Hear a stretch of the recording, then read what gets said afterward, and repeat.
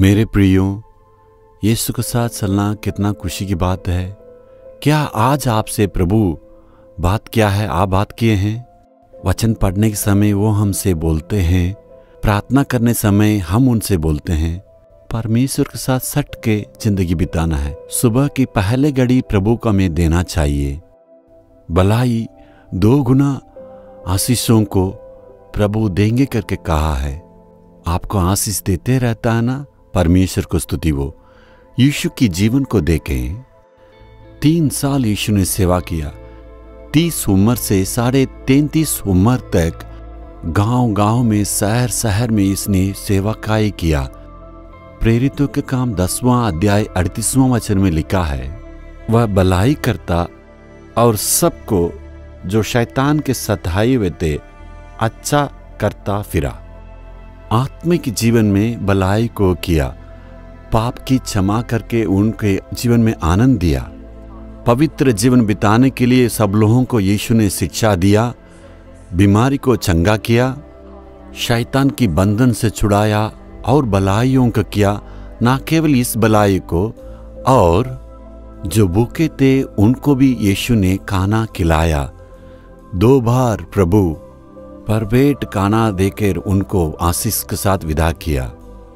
शादी के घर में जब दाक्रस खत्म हो गया था, उस वक्त प्रभु ने चमत्कार किया। उसने भलाई किया। लोगों को दुख नहीं पहुँचाया, भलाई किया। उनकी दुखों को सुखों में यीशु ने बदला।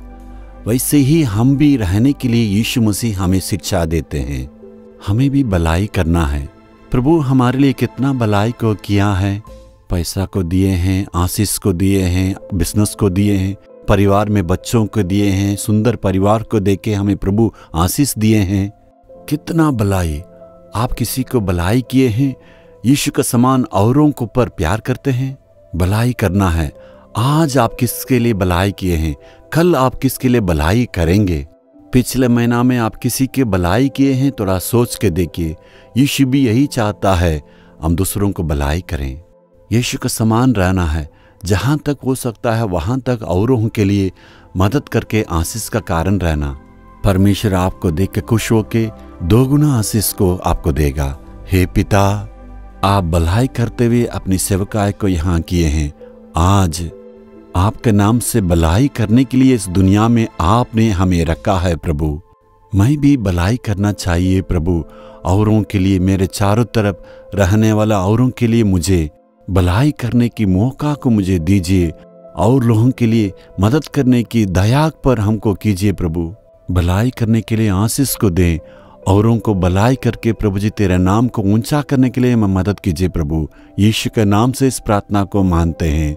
आमेन, आमीन।